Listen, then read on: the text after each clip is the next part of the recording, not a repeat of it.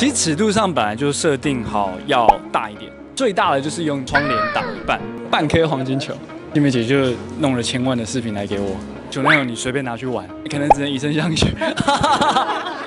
新梅姐就弄了千万的视频来给我，嗯，呃，都有哎，像熊那种那个就可能三条加起来可能就一百多万，嗯嗯嗯，对啊，而且新梅姐都叫我熊那种你随便拿去玩，就是乱摆。回报新梅姐，哇塞，只能真的只能可能只能以身相许。没有啦，就是就请新梅姐吃饭啦，这样子，对，就把她自己当做自己我真的最尊敬的姐姐这样子。呃，新梅姐包十本，然后蓝妈妈也包十本。这里面尺度蛮大的。对，嗯。你有做什么防护措施？没有哎，没有防护措施，因为你拍的时候不太能有防护措施。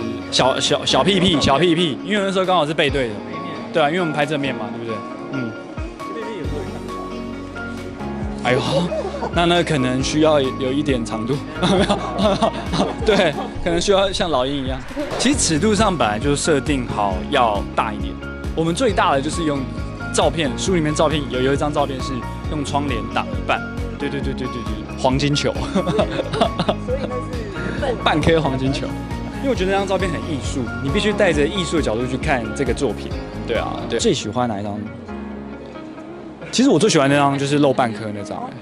嗯，因为我觉得那张很很像大卫像，就很有艺术的感觉，很像那种古希腊人啊，然后刚从浴场出来，然后披着一个浴衣，然后很慵懒的感觉，对，然后身材那个有点那时候练得蛮好的。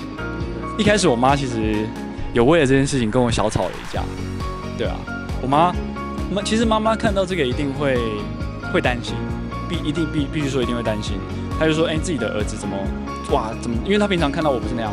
然后说哇，尺度这么大这样子，然后他就觉得好像没有必要。但是我就觉得当艺人必须要有一点突破，要点话题性。然后因为我们这个照片是其实是拍的非常好看，然后也带有很多艺术的气息啊。我觉得不能用带那种比较偏见的方式去看它，你要用比较审美的方式去看这个作品，我就觉得还不错。然后后来跟我妈沟通完，我妈也接受这样子。